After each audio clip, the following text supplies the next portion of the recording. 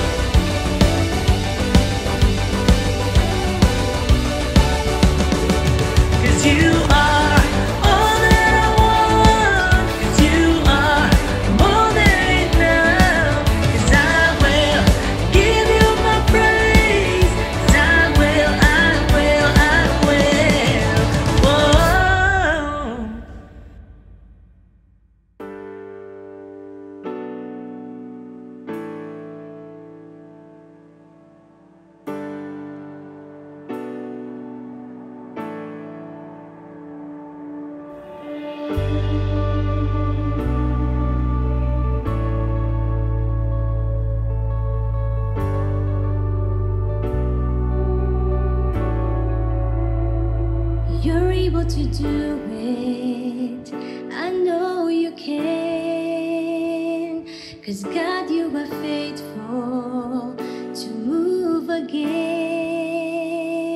This mountain, it seems big, but I know you're with me. So, Jesus, I'm grateful until the very end.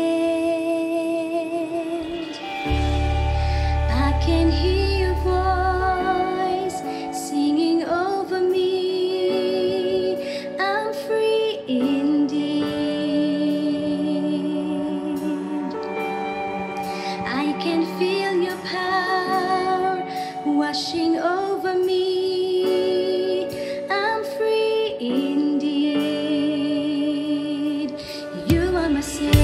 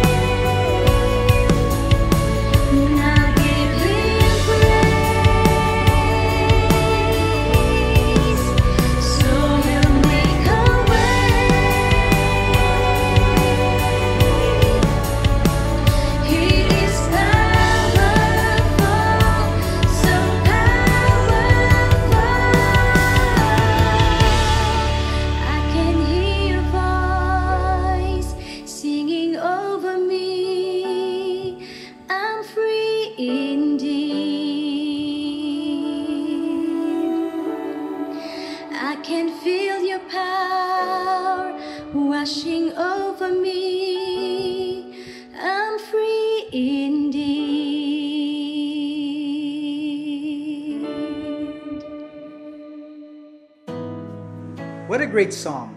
My Reason by Planet Shakers. You are the greatest, the song says. When people or things are defined as great, it means they are of an extent, intensity, ability, quality, or eminence above the average. If one is great, they are of a higher caliber than those surrounding them. The greatness of God is beyond our comprehension, and because He is God, His greatness is in a category of its own. For the Lord your God is God of gods and Lord of lords, the great, the mighty, and the awesome God. God is greater than any human we would consider to be great. He is worthy of our worship and adoration. For you are great and do wondrous things. You alone are God. The greatness of God and of His works is mentioned all throughout the Bible. We also use great to emphasize the heightened level of God's character qualities, such as His love, patience, strength, mercy, and faithfulness. Throughout the Bible, God did great miracles that brought freedom, healing, and salvation. The might of God is great and unsurpassed. Jesus is our great high priest. The Holy Spirit is great and provides us with freedom, power, wisdom, and hope. Because God is the creator of everything that exists. He exists outside of our realm of time and space. He is superior to His creation. Creation is finite, but God is infinite. No one else is great like God. Our response to God's greatness should be praise. Praise Him for His mighty deeds. Praise Him according to His excellent greatness. We also listen to another Planet Shaker song. God is on the throne. And yes, He is, and He is in control. What strikes me with the lyrics of this song is when it goes, I can hear your voice singing over me, and I'm free indeed. The Bible says in Galatians 5:1, It is for freedom that Christ has set us free. Stand firm then and do not let yourselves be burdened again by a yoke of slavery. Jesus shocked the Pharisees the spiritual leaders of his day when he stated, I tell you the truth, everyone who sins is a slave to sin. Jesus was asserting that we are all under the power and control of a tendency to sin. We can't get away from it by ourselves. Sin brings a penalty that by ourselves we can't escape either. The Bible says the wages of sin is death. So, how do we find freedom from the penalty and the power of sin that comes through accepting Jesus Christ's death on the cross as the payment for our sin. As we submit to Christ, sin loses its power, Christ's power takes over as we choose to trust and follow Him. Our sinful habits and thoughts and attitudes lose their control, guilt disappears, and peace of mind dominates. Right habits become the norm. That's freedom, true freedom. My name is Pastor Raymond, and you are tuning in to another episode of Midweek Inspirations.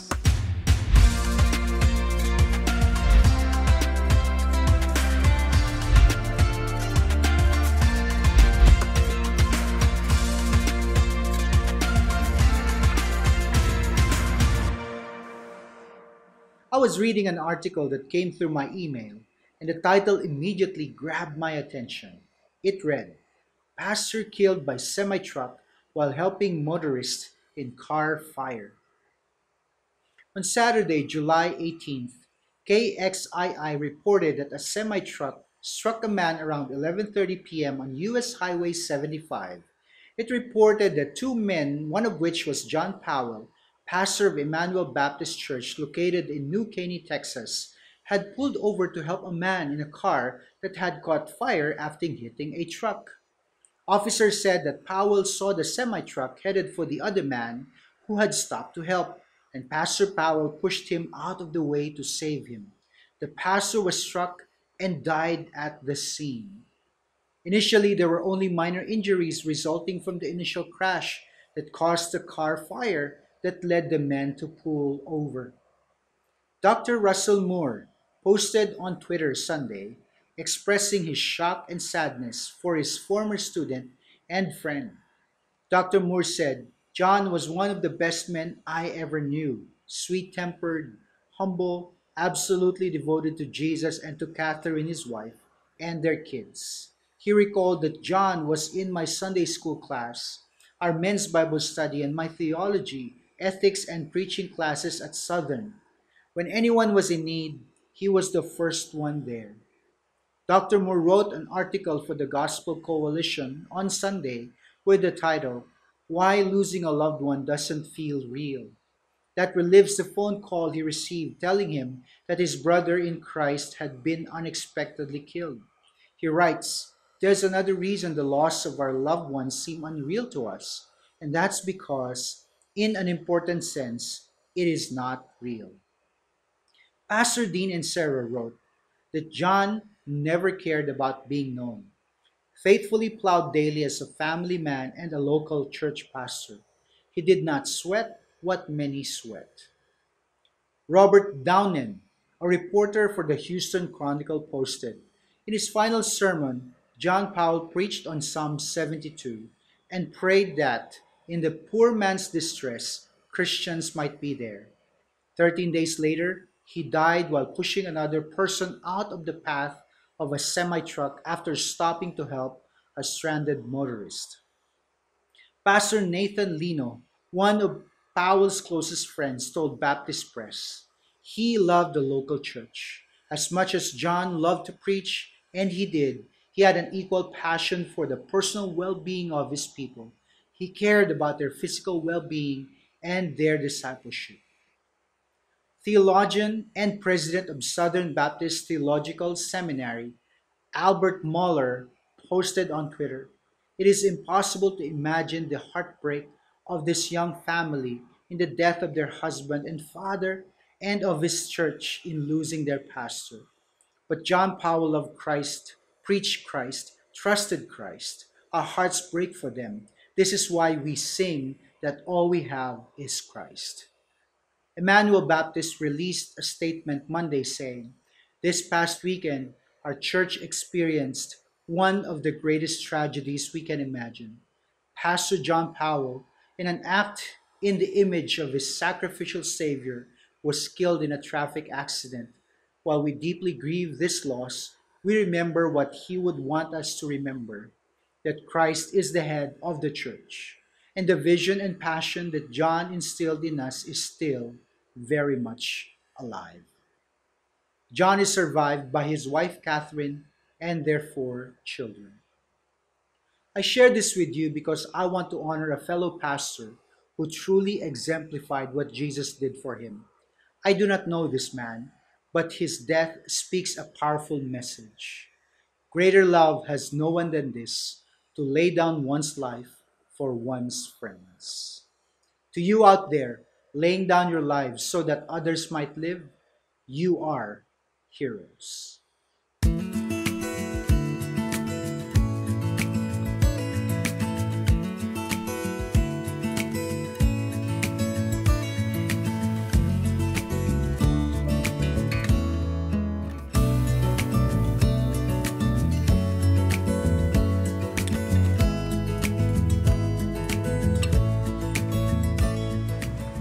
That's it for this week's Midweek Inspirations. Tune in again next week for more. Please like, share, and subscribe so that you are updated when new content is available. I'm also inviting you to church on Sunday. Join us at One Cornerstone for an awesome church experience. In the meantime, stay safe and God bless you.